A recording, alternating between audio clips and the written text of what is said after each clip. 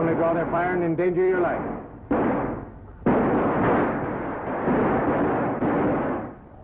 This is unbearable. The whole town terrorized by a handful of Tolliver's. And nobody man enough to stop them. They're dangerous men, Ann. I don't think they're so dangerous. They're just shooting around people to scare them.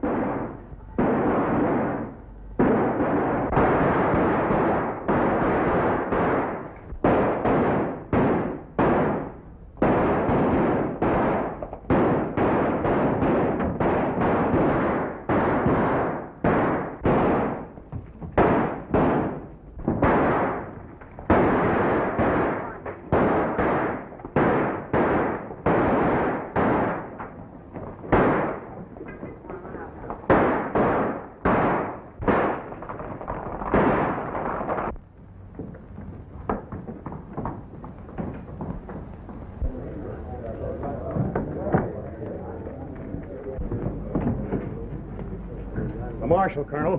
Better report it to the mayor as usual. That's right. Come on, boys. Let's get him to the doctor.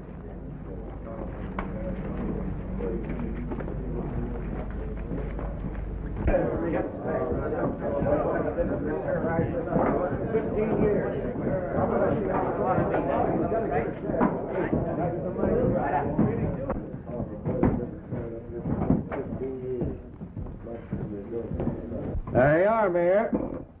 We got to fill that job. Can't open the bank until we do. Might as well try to get someone to wear a bullseye in a shooting gallery. It took me two weeks of earnest endeavor to inveigle this last man into accepting the position. It's just impossible to get a man to fill this job of marshal. How would you like to wear this, Ed? No, thanks, Mayor. I got a wife and family back east. Bad enough having them rob the bank when I'm insured. But until this town has a peace officer, I can't get insured. Someone will rise to this occasion. Every emergency brings forth a great man. When this country needed saving, who was it stepped forth from obscurity and saved it? Abraham Lincoln. Howdy, barkeep. Brady's the name. Buffalo Brady. Oh, yeah. There you are, Mr. Brady. Stilled in a volcano and aged in a rattlesnake's den. I know what you buffalo hunters want. Buffalo hunting days is over. We hide butchers kill them all off. What? That's good. Another? Can't. I'm broke. I won't be for long. I aim to make me a fortune trapping. Oh, I'm a sly old fox when it comes to trapping. If I had me a hundred dollars for supplies, I'd clean out all the fur in Arizona. So, you're looking for a job, huh? You gents seem to speak my language. Can you shoot? Well, uh,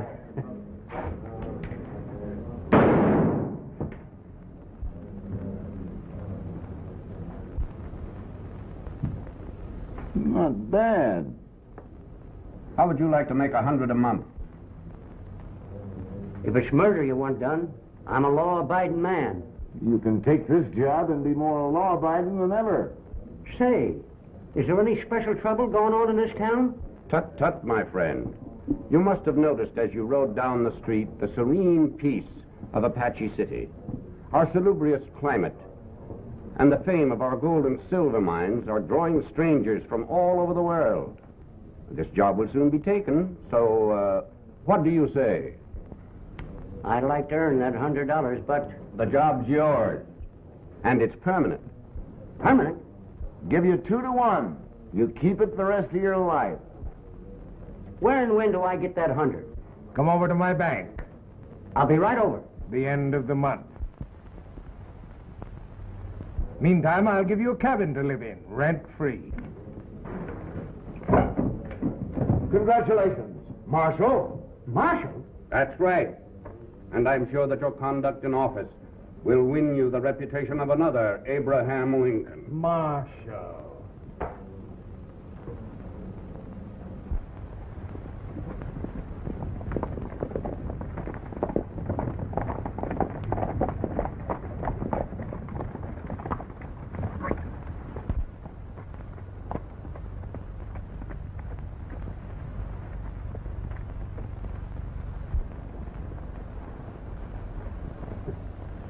Howdy, boys. I'm the new marshal.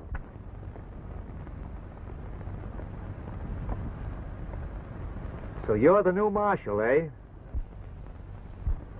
My name's Tolliver. So's mine. We're all Tollivers. Yeah, I I hear to you, boys. Well, I'll I'll be heading back to town. See you again sometime. Yeah. Maybe once too often. Well, so long.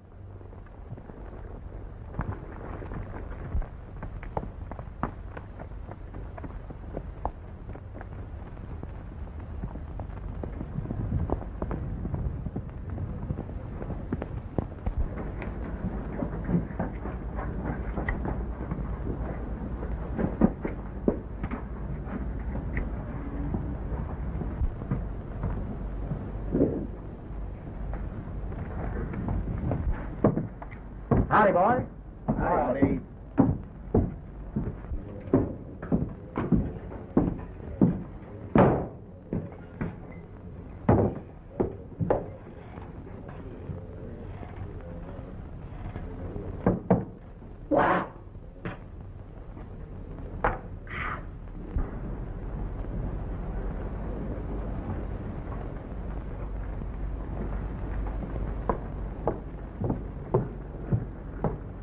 Well, young fella, here's where you get off. Thank you very much, sir, for the transportation. How much do I owe you? Nothing, son. But you better be careful. This is a tough town. Thank you.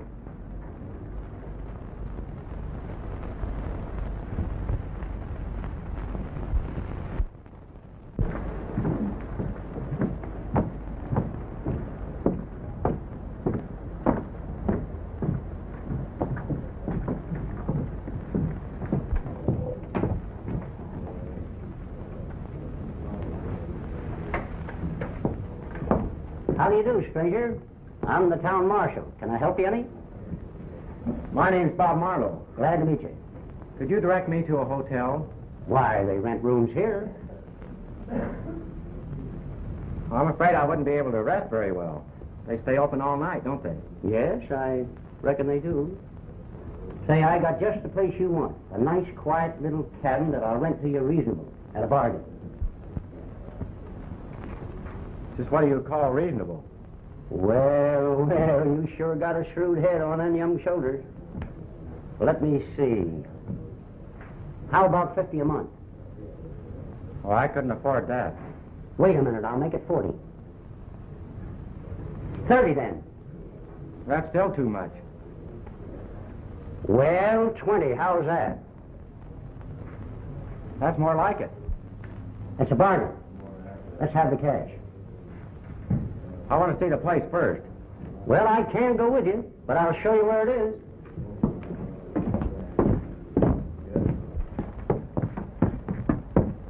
You follow this street up to the first gulch. Turn up the hill, and there she is. Well, how could I get there? Oh, you can borrow Tom Pruitt's horse over there. Won't he object? Object? Not likely. I got him locked up in the hoosgow. Oh. Well, thank you very much.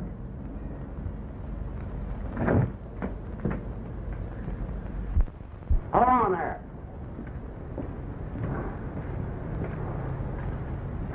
Have you got a gun? Well, of course not. Well, you can't tell. You might be needing one out there alone. Well, goodness gracious, what for? Suppose you was to meet a catamount or a bar. Now, there's a killer, sure enough.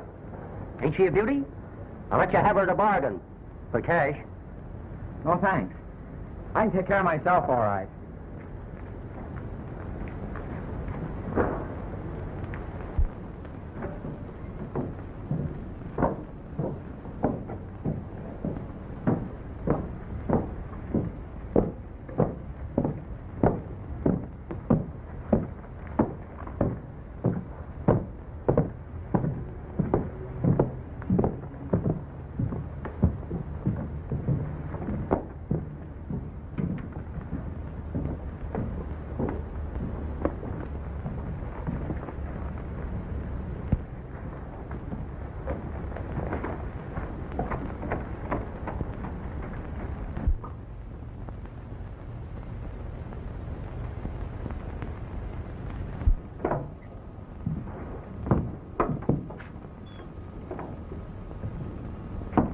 Somebody else got this idea ahead of us.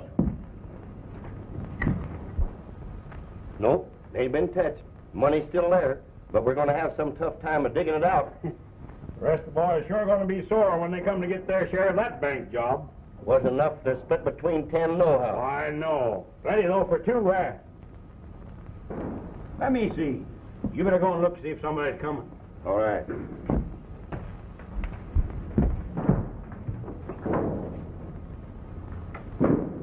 Not even a squirrel in sight.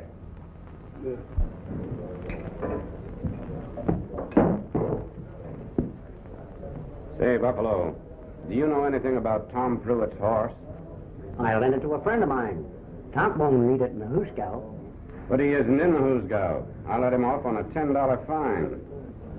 If you don't get his horse back pronto, he'll be shooting you for a horse thief. A horse thief?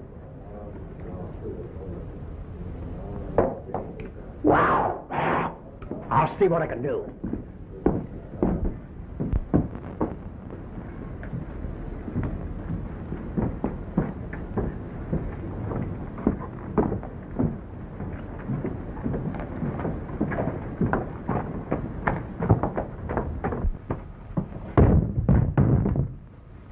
There she is, just like we left it. hurry up, hurry up. Well, if you're in such a hurry, drag it out yourself.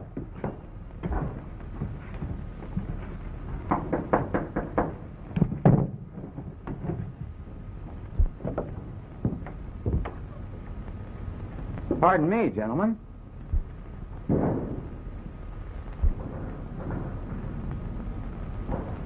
Haven't you any respect for other people's property? What's that to you?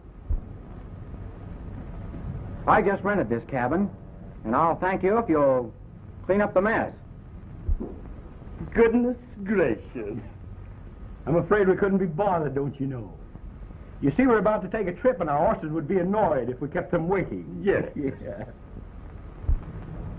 I'll report this to the town marshal. No, you don't. Sit down.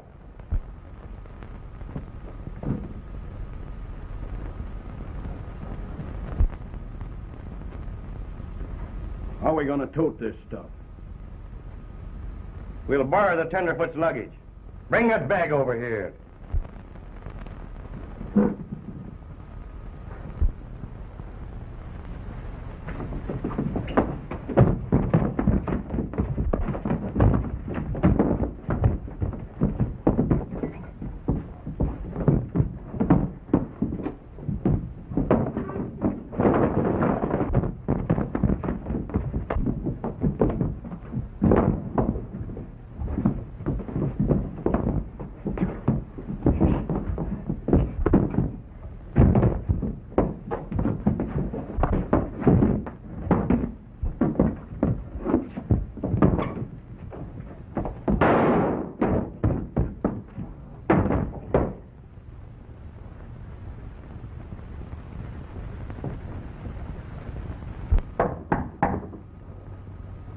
Who's there? The marshal.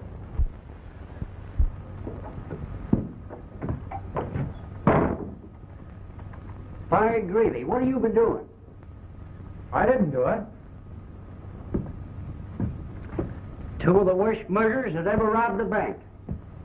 And dead as a mackerel.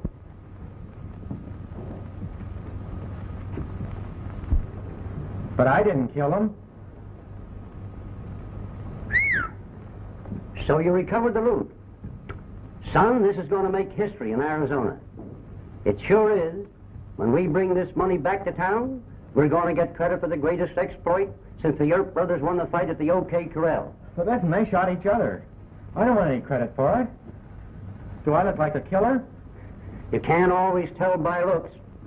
Well, we better be getting out of here before some more Tolliver shows up. Hang that on you. You might need it on the way in. They got a lot of relatives, these corpses have.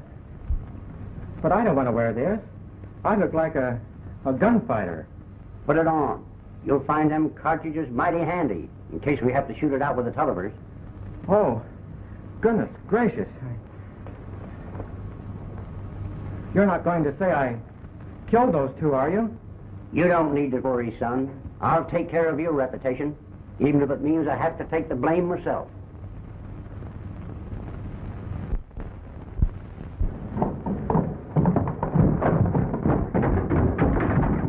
There you are, sir.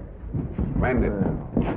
Pardon me. Buck, what's all the excitement? I don't know, Colonel. All I heard was two of those Tollivers got shot. Tollivers, eh? It serves them right, Dad.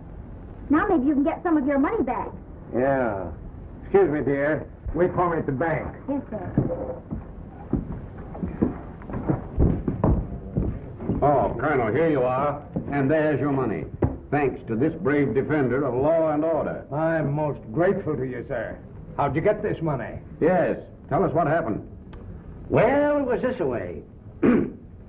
I figured that cabin was a likely place, seeing as how it belonged to the man they stole the money from. So I snuck up and looked through the window, like an old Indian fighter would do, before walking into a trap. Seeing both them bank robbers inside, I pulled my gun and strode to the door.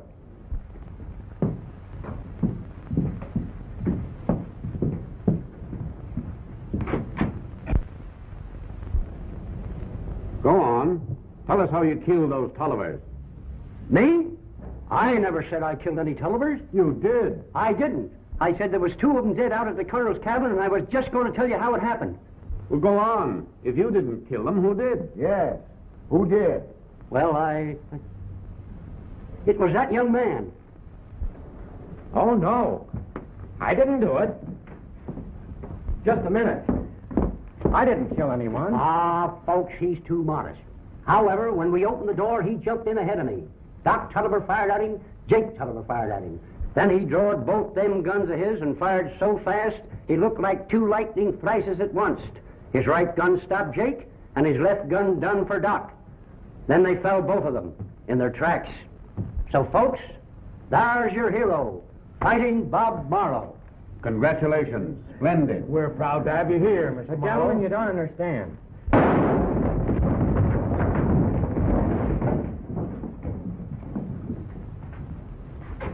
So you killed our brothers, eh? No, you see, it was like He, this. I- he, he sure did. That's all we wanted to know. Come on, fellas. Hey, just a minute.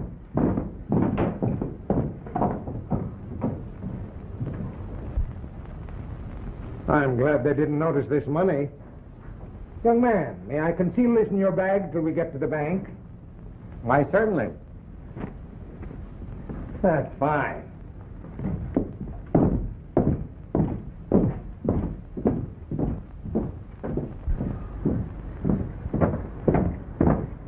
Oh, Anne. I want to present Mr. Marlow, my daughter, Miss Carver. How do you do? I'm pleased to meet you, Mr. Marlow. There's such a thing as being too modest, miss, and that's him. Why, any other man would go around bragging about what he did for this town today. The first thing you know, he'd be saying he didn't even have a hand in it. Oh, but you did, didn't you? Well, yes, but you see, there, ah, he admits it. He ought to be rewarded. I can think of no more fitting hands than yours, miss, to pin this decoration on him. With pleasure. No, please, you see, I Oh, didn't. Oh, but you deserve it. Please let me pin it on. Well, Colonel, if anybody wants to know who killed them two Tollivers, you can say it was our deputy marshal. May we have the pleasure of your company at dinner tonight? Oh, I'd be delighted. Thank you. And at that time, we can discuss the matter of the reward. Reward? Naturally. There's a reward for the recovery of the money.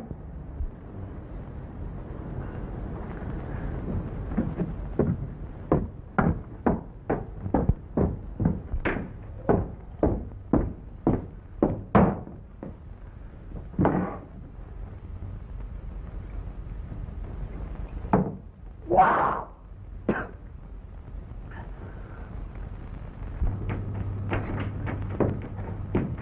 Howdy. How do you do, sir?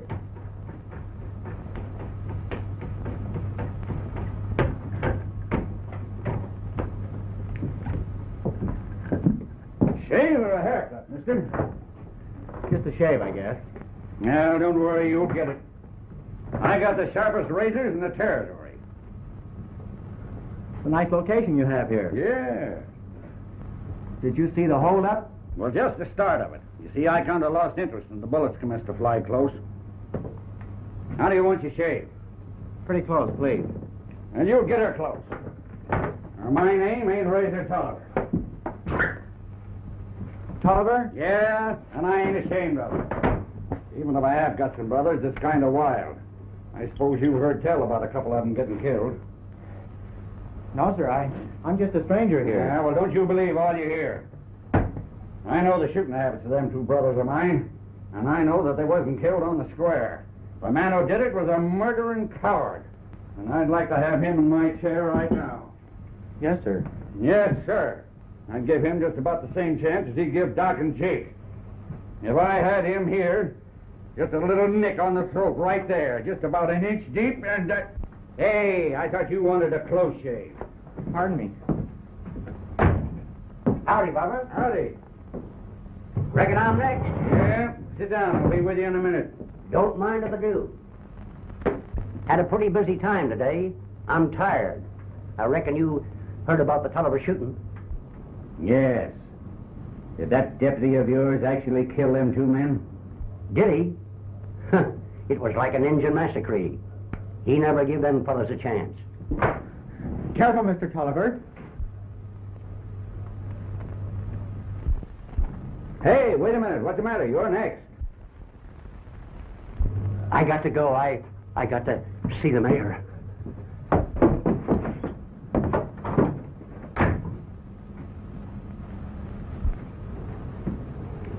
Say, stranger, what's your business in this town? Oh, I'm just looking around. Looking for work, I suppose, huh? Well, I'll just bet you a dollar against the shave I give you. I can guess your occupation in three guesses. All right, sir. That's a bet. All right.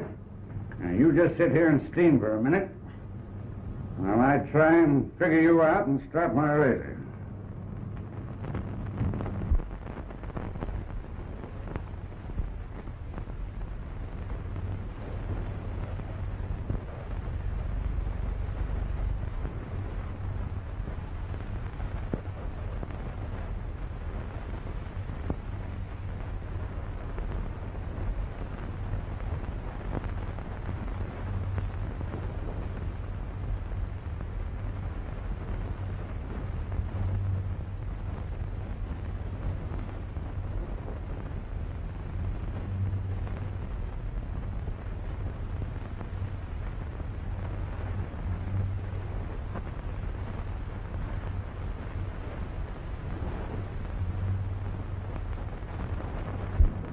Now then, mister, I'll be through with you in a jiffy.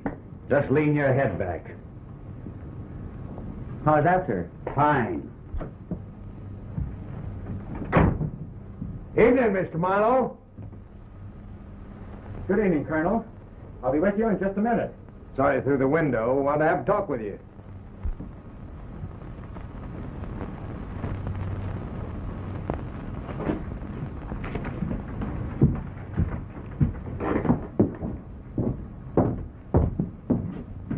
Well, young man, now that you're a deputy, we'll have to get you a riding outfit. That'll be fine. Thank you, sir. Well, bye. I want to see you, Colonel. I'll be in first thing in the morning.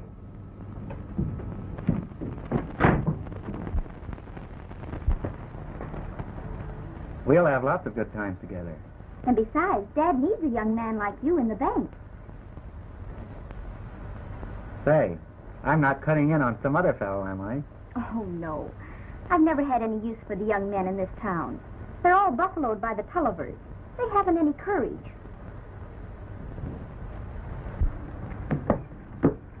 Dad, now you don't have to worry about replacing that bookkeeper who quit after the holdup.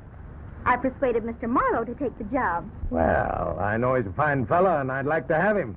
But being able to subtract Tollivers doesn't prove he's able to add figures. Oh, but he is. I'm sure I could handle the position. I've had plenty of experience. There goes your only objection, Dad. He can start right in in the morning. Well, I'll think it over. Thank you, Colonel. Good night. Good night. I'll be right in, Dad.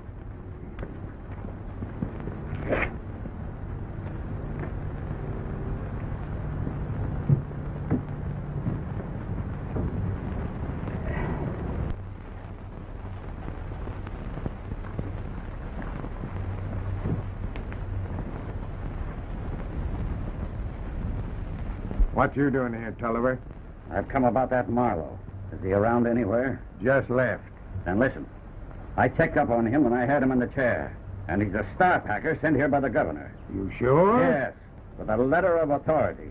Don't let looks fool you, Colonel. That boy's one of the deadliest gunmen in the Southwest. Why, do you think he suspects? See me at the barber shop tomorrow. And don't be surprised if he's dead before morning.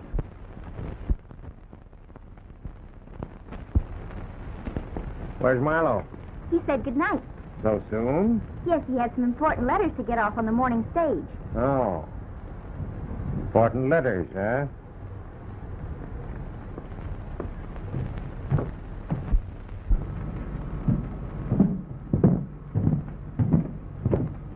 That fellow that shot Doc and Jake will be along here in a minute. He just put his horse in the stable. Yeah? I'll take care of him. Good. Come on, Nate.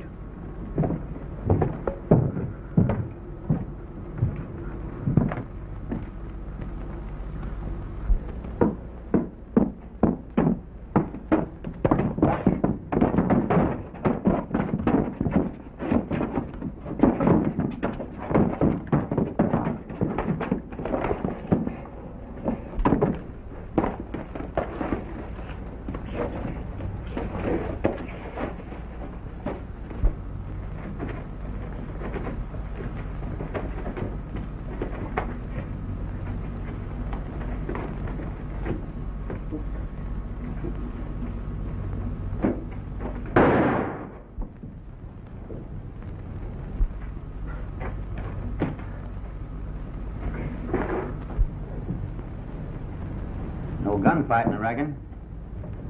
Only one report. Likely someone shot a skunk. Drink up, Nate. Have one of us, barkeep. Don't mind if I do. I don't know what you're celebrating, but here's how.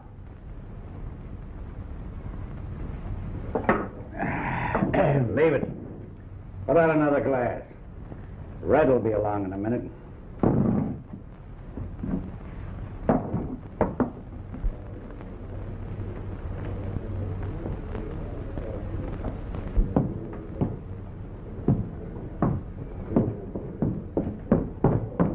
Hello, Deputy. I've been looking all over for you.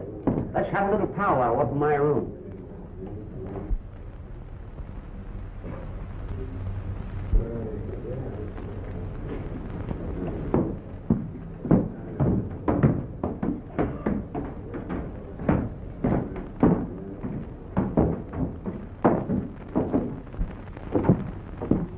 Sit down. Come on. Something's happened to Red. Now that you've been out and seen that nice, quiet cabin, I suppose you'd like to pay me a month's rent in advance. Oh, I couldn't use the cabin now. I could never think of living out there alone after what happened today. Why, it's only twenty dollars a month. I'll make it ten. No thanks. I'll put up here at the hotel. You'll find it pretty dangerous. Not as dangerous as living out there alone. Well, if you feel that way about it, better let me give you some lessons. Them shooting irons. Lessons? Ought to be worth ten dollars a lesson. But me being generous, oh, I got a heart as big as a buffalo. I don't want to go to your funeral, so let me show you how to handle them guns. For nothing. All right. And then if you feel like it, you can buy me a drink. Now, the first thing you got to learn is the draw. And you got to do it just like this every time.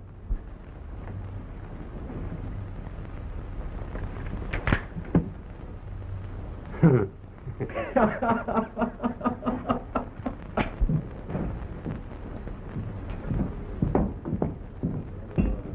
just took Red to the doctor with a bullet in his hip. Where's that deputy? We've just been waiting for him. He's upstairs in Brady's room. I'm going to even things up. What would you do if a bad man came in that door with a gun already in his hand? Well, Buffalo, I'll show you.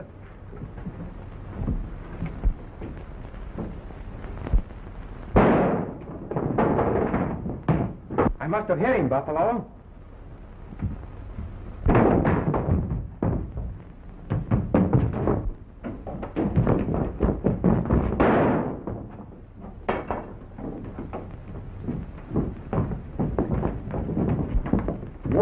Deputy. He's only been in town one day and he's put four Tollivers out of business already. That calls for a drink, and it's on me, folks. Barkeep, set 'em up for everybody.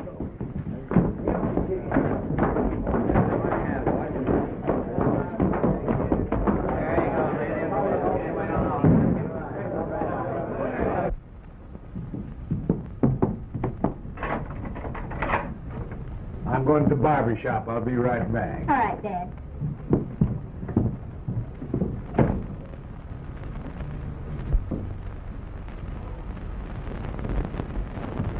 Good morning, Miss Good morning. You're down early, aren't you? I want to make a good impression on your father. I'm sure you will. But how did you get in? Well, I explained to the janitor that I was starting to work here this morning. Oh, I see. We've got to get rid of him and do it quick. He's whittling us down to his size. Tomorrow will be too late, so we'll put him away today.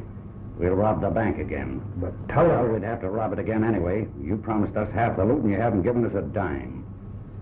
We let him live. He'll have the goods on us as well as on you. Well, what about it? my daughter's there. You'd better get her out of there before two o'clock this afternoon.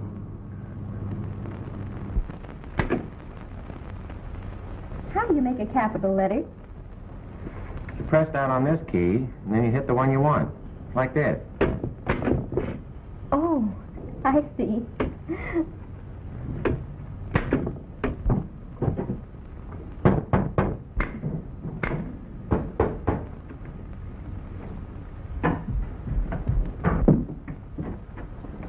Good morning. Who would you like to see? Colonel Carver, miss. Why, he isn't in. Perhaps I can help you. Maybe you can, Miss Carver. I come to see about the reward Reward? What reward? for bringing the stolen money back to town yesterday. Oh, but Mr. Marlow did that. Shucks, the colonel tell himself that I put that money back into his hands. But I don't understand. I thought Mr. Marlow shot those two Tollivers. That's the story he wanted told. So I up and told her. Fact of the matter is, he didn't have a gun. They had a fight over the money and shot each other. You mean he just wanted to be... Wanted to be a hero to impress the ladies. It's natural at his age. Me, I prefer the cash and let the credit go. Talking about cash, miss, do you think a hundred dollars would be all right? Oh, you'll have to see my father about that. Oh, all right.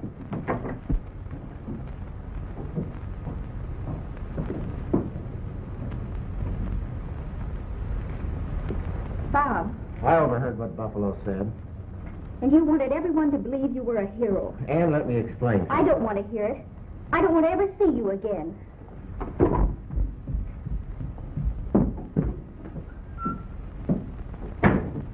But Tolliver, let's not be hasty.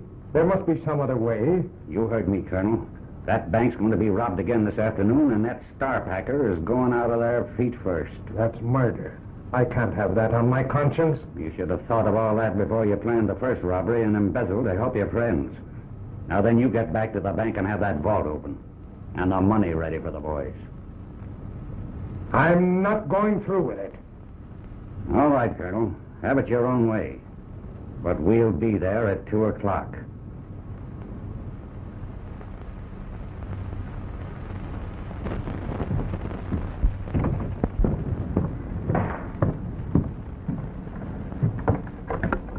Down early this morning, fellow. Yeah, how are you?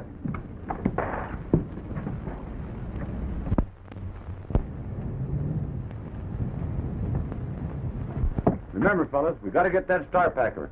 He'll be back here with a posse and wipe us all out.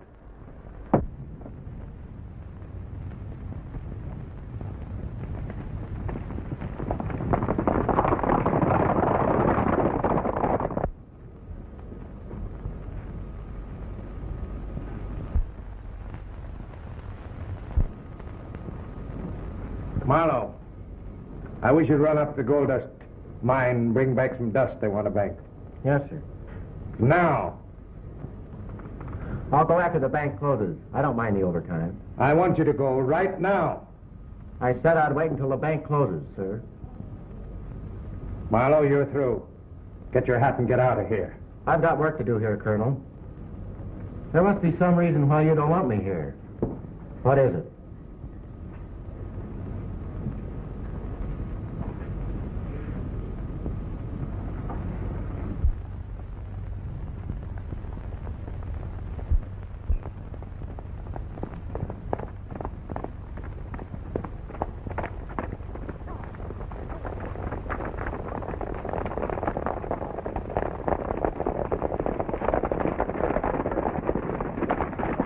Why not tell me, Colonel?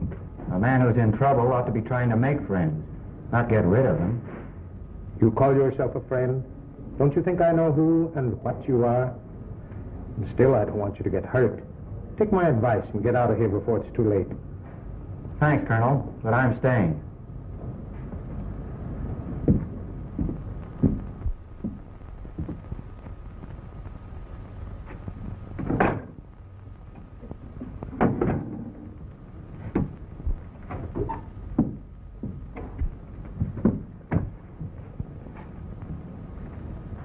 I might be needing another gun, Colonel. Thanks.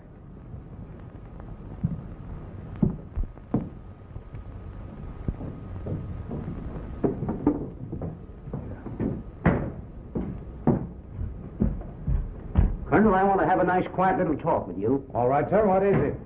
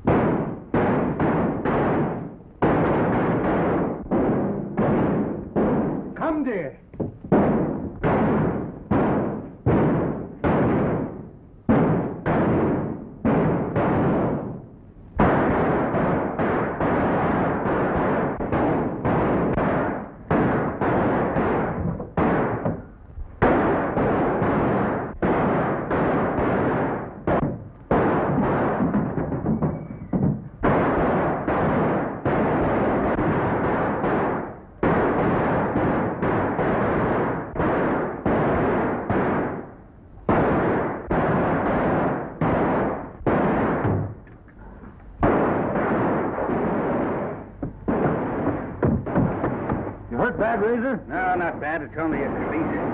Get a battering ram and push in that door and get that hombre that shot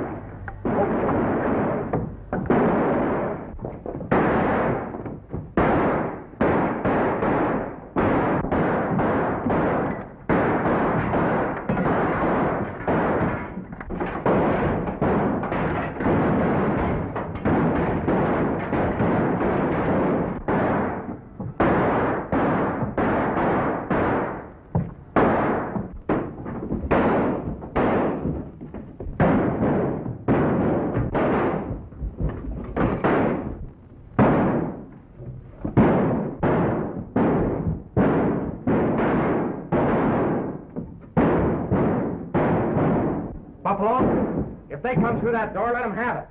I sure will.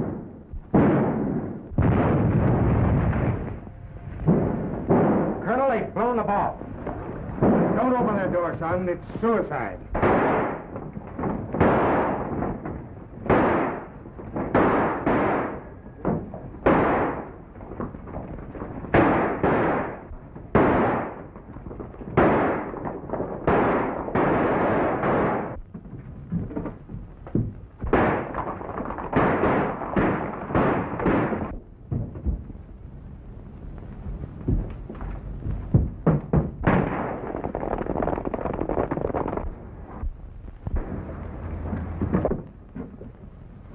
I 'em on the run, Colonel.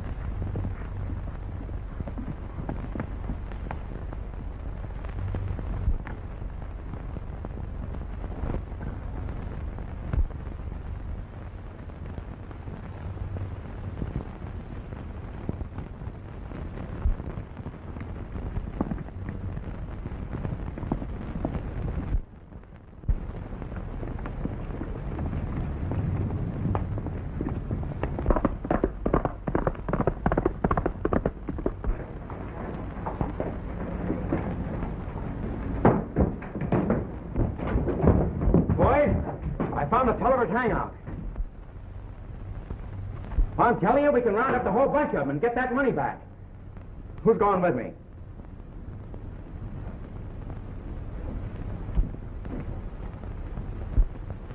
There ought to be one man in this crowd. Buffalo, how about you? Sorry, my authority ends at the city limits. Well, mine doesn't. I've been authorized by the governor to enforce the law anywhere in this state. And I'm deputizing you to go with me. Who else? All right. I'll organize my own posse. I'll round up every man that isn't yellow and can carry a gun. We'll corral this Tolliver gang for keeps. Buffalo, phone every rancher in this valley. We'll pick 'em up on our way out of town. Wow!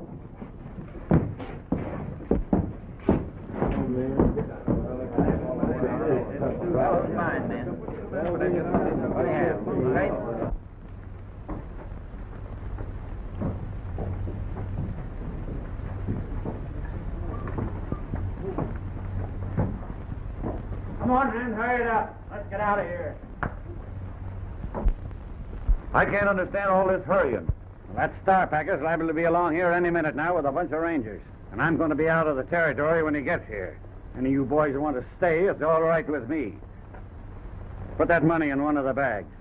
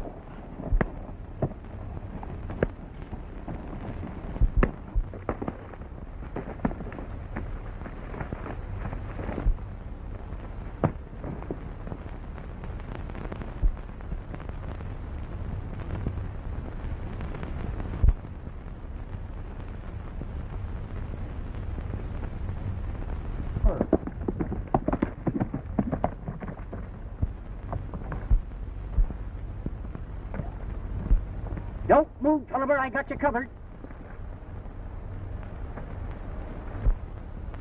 Hey, Buffalo. What are you doing down there? I got him. I got him. By Jiminy, he ain't going to get away from me this time.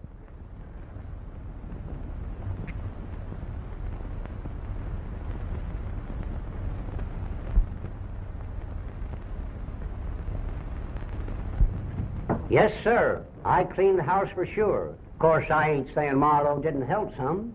He done right well, considering. Mr. Brady, in recognition of your services to the city today, allow me to present you with a token of our esteem.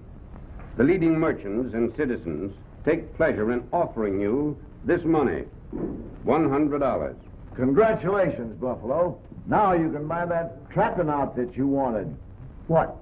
Me waste my talents that way? Me be a low-down trapper? No, sir. Now that I got rid of the Tollivers, I'm going to keep this job. This calls for a drink on me, boys. Come on, everybody, step up here and have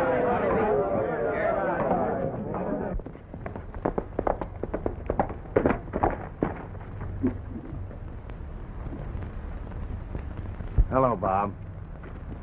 I don't want my daughter to hear this, so let's get it over with. You come about that $10,000. I'll tell you about it. I didn't steal that money. I lent it to my friends. And someday they're going to pay me back. It was just a matter of concealing the shortage. I don't know what you're talking about, Colonel. What? You know, I've always wanted to buy an interest in a bank in a growing town like this. You mean... That you have nothing to worry about. So take it easy. Ah.